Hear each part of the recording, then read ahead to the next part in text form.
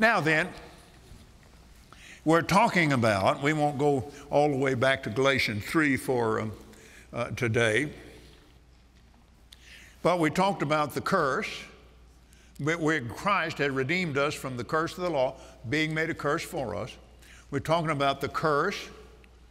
And then we, we talked about being redeemed from the curse so that the blessing of Abraham might come on the Gentiles and that we might receive it by faith.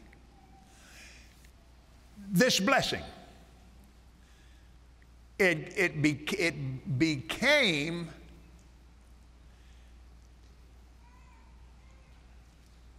the blessing. I, I, I can't emphasize that strongly enough. The blessing. Say it. The blessing. Not a blessing. The blessing.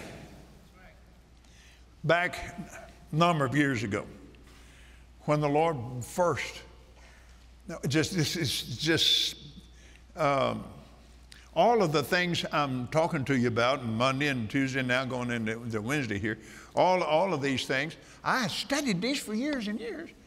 But all of a sudden, it, it, my, my, my, my spirit and my mind expanded, and I saw it. it. and, and the Lord said, From now on, anytime you write any form of the word bless, bless, blessing, blessed, write it in all capital letters to impress me the blessing. The blessing. And I still do it today. And I know there's people, you know, get text from me or, or in a letter or something, all of a sudden I just capitalize the word blessed. I guess they think I'm just excited about it. Well, I am. but I'm still walking in obedience to the Lord from that for that. Now then,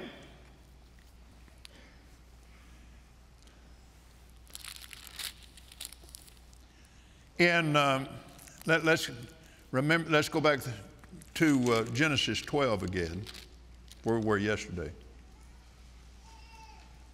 Now the lord said unto abram get thee out of thy country and from thy kindred and from thy father's house unto a land that i will show thee.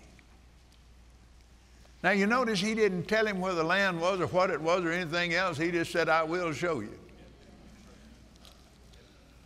Amen he intends for you to walk by faith. And this is the reason Abraham was so hugely successful with God. I'll show you. And I will make of thee a great nation, and I will bless thee and make thy name great, and thou shalt be a blessing. I'll bless them that bless thee, and curse them that curse thee, and in thee shall all families of the earth be blessed. So Abraham departed. Now that's the reason Oh, that, that, that's the reason Abraham is in the, the place in which he is in tonight. Amen. Amen. The father of our faith is because God said it and he just do it. Amen. Amen.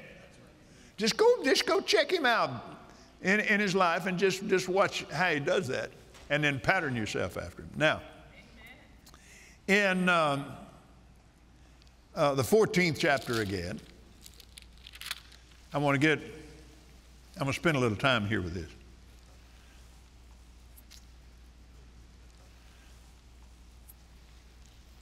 The, verse 17 the king of Sodom went out to meet Abram after his return from the slaughter of Chedorlaomer and the kings that were with him at the valley of Shaveh, which is the king's dale.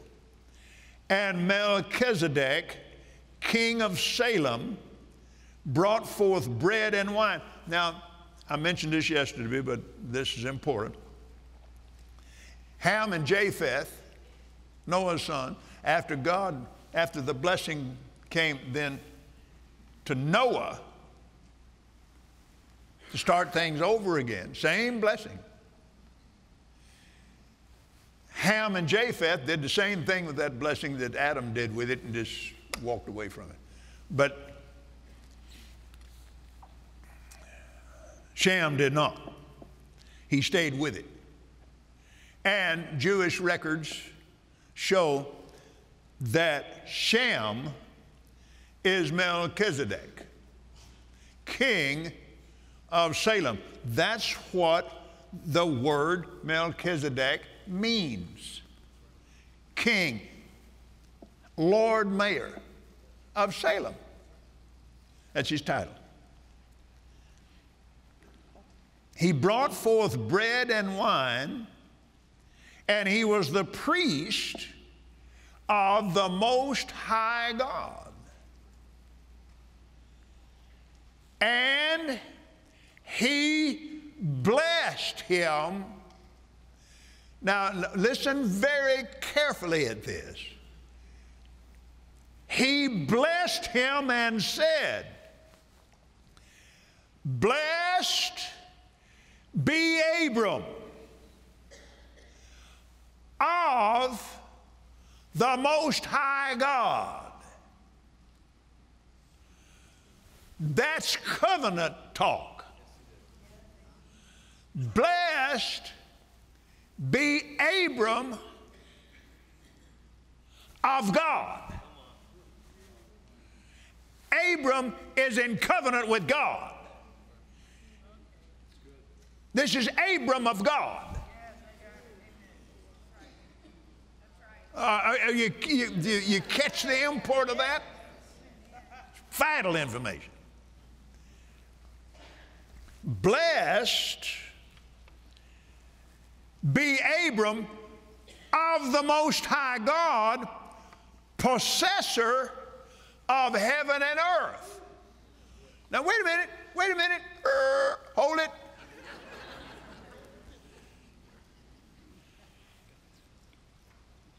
He didn't call God possessor of heaven and earth. He called Abram possessor of heaven and earth. And you'll see it. You'll, you'll see it. Look, look, look at the very next verse. And blessed be the Most High God which hath delivered thine enemies into thy hand and gave him tithes of all. Now he just got through saying, Blessed be Abram of the Most High God, possessor of heaven and earth, and bless God.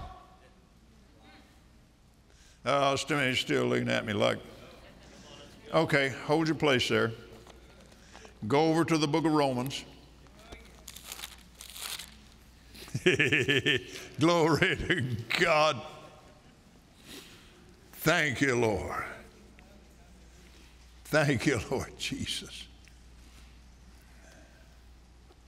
In the fourth chapter of the book of Romans, verse 12, and the father of circumcision to them who are not of the circumcision only, but who also walk in the steps of that faith of our father Abraham, which he had being yet uncircumcised. For the promise that he should be heir of the world was not to Abraham or to his seed through the law, but through the righteousness of faith. Heir of the world, possessor of heaven and earth. That's just another way of saying it, isn't it? Come on, somebody ought to praise God for that. Hey! Hey! That the blessing of Abraham might come on. Whoa! Yes! And we've been raised up to sit with him in the heavenly places, far above all principalities. Glory to God. Hallelujah. You can't shout about that. There's something wrong with you, that's all. Thank you, Jesus. Yes, praise God. Now, we can go back to the 28th chapter of the book of Deuteronomy.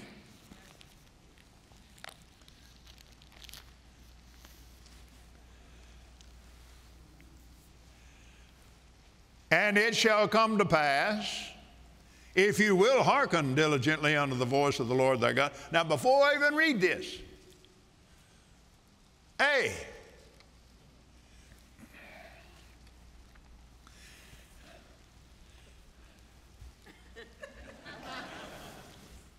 Christ has redeemed us from the curse of the law so that the blessing of Abraham might come on the Gentiles. That's you and me. Thank you very much.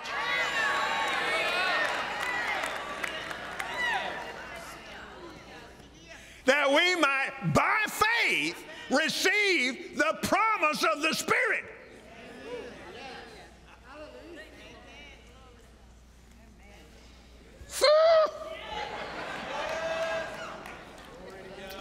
Glory to God.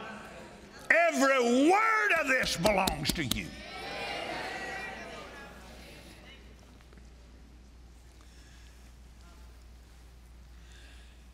All these blessings are part of the blessing. All of these blessings shall come on you. I glory to God, just come on. Just come on. Just come on me. We, we got home from, we'd, we'd been gone for several days, well, in fact, a few weeks on the road and got home. And, and there was a, a little uh, yellow 500 Mercedes convertible in my driveway blocking my garage. And I drove up there and I told Gloria, I said, wonder whose car that is. And I, so I called and, you know, uh, called the office and talked to somebody. I said, um, there's a, a car in my driveway that doesn't belong to them. Do you know anything about it? Yeah, that's yours. No, no, I said, that's not mine. yeah, it is. It's yours. I said, Where did I get it? they said, One of your partners just brought it to you. I was kind of dumbfounded. And I thought, oh, okay. so, and, and then, I, of course, I got all excited and, and, and immediately got a rag, started rubbing on it, you know. And so, Beautiful car. But then I, I and I, I, knew I, I had to go before the Lord with this, and I said, Lord, um, now I didn't, it, it, that, that's a beautiful car and a nice car, and I received it. And I blessed my, my partners. Oh my. But that, that car is not even part of my, my, desire for a car. I never asked you for a car like that. What happened? He quoted that scripture to me. Said, he said, You remembering my word? All these blessings will come on you and overtake you. I said, Yes, sir. He said, Boy, you just got overtook. And, and I'll tell you, I got, I just, I just have to tell you, Glory, I've just been getting overtook ever since. I mean, amen. Well, now, now you can see why. People that don't understand what we're talking about. It's not because God's so good to glory in me. It's because God's so good. He's good to anybody. He'll do this for anybody. But when people don't know that, and they yield to the natural carnal mind and yield to the devil who would give anything to stop that blessing from, from ever, anybody else ever finding out anything about it, start talking just as ugly as they possibly can about you and me and everybody that gets any kind of blessing that's, you know, and get jealous? Whoa. Why? To stop it? Now we know why The scripture says, and you will receive in this life a hundredfold, and in the world to come eternal life. You'll receive in this life a hundredfold with persecutions. That's no reason to withdraw. Jesus is just letting you know when you start prospering, you're going to get persecuted for it. Well, listen, when people, now this is, glory to God. Remember, when you, when people despitefully use and persecute you, they qualify you for the devil.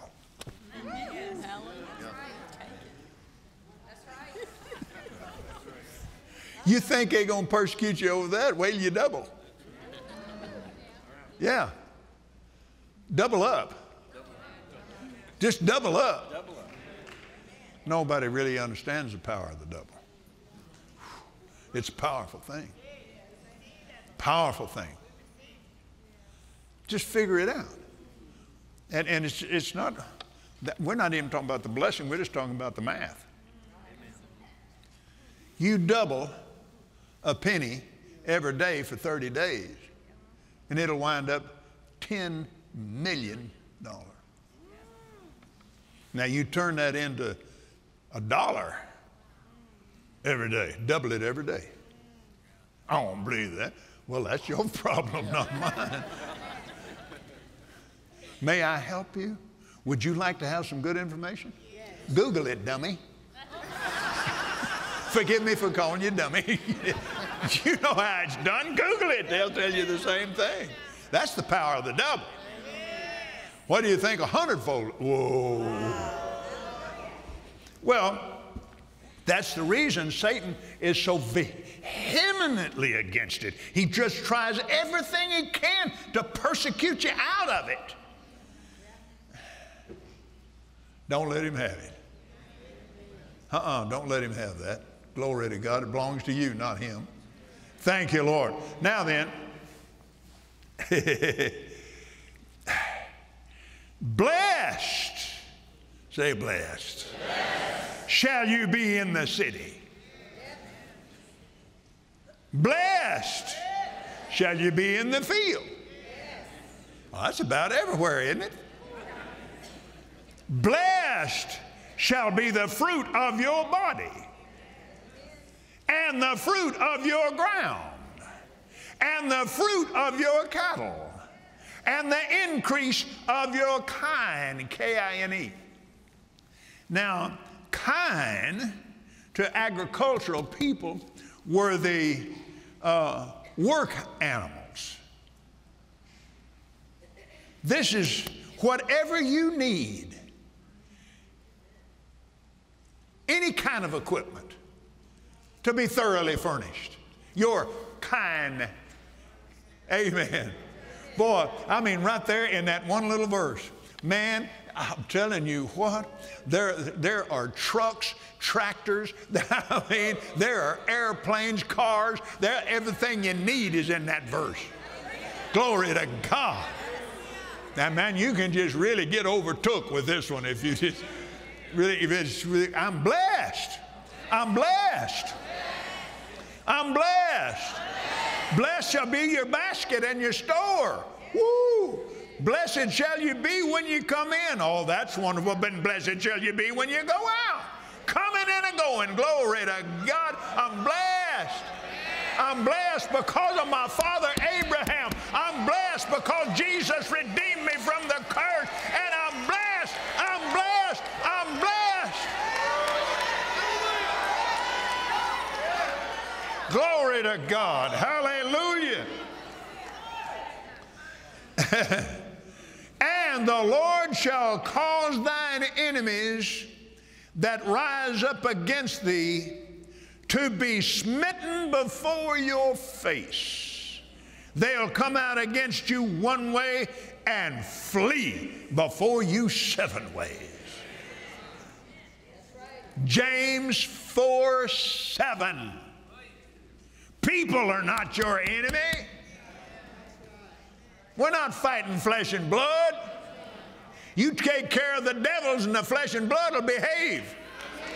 Hallelujah. Oh, yeah. Submit yourself to God, resist the devil, and he will flee from you. Seven ways. That means he's hunting for a door in every direction to get out of your presence. Just, uh, oh, just begin to see yourself differently. Uh, John Osteen, back years and years years ago, uh, John and Dodie and Gloria and I are very, very good friends. And he said, now, th- and this is a good picture, you need this. That the, the, a ruler of the darkness of this world is walking down the street, and a bunch of little principalities and powers, little low level devils, are getting assignments. And the ruler said, Now you two go in that house. You two go in this house. They came up here, they came up in front of John's house. And they said, and then one of them, the devil says, Can I go in there? He said, No, no, no, no, no, no, don't, don't go in there. Stay out of that. Don't you go in that house. Them people will hurt you. Amen. And he, and he said, I tell you, we ought to be so hard on the devil that every time you open your eyes in the morning, they say, Oh no, she's up again, Lord.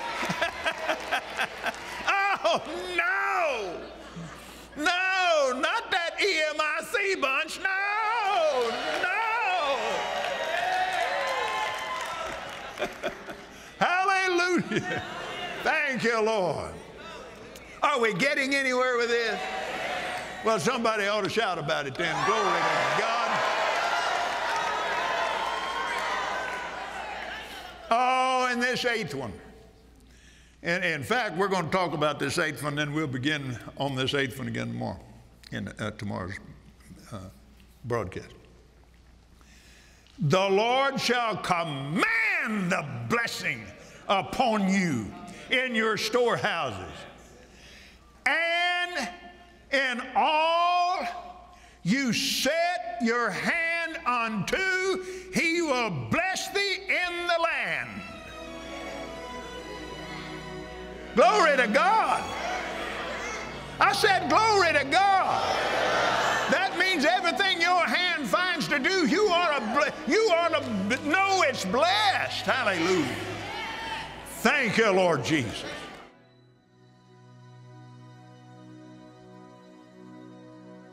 We hope you enjoyed today's teaching from Kenneth Copeland Ministries.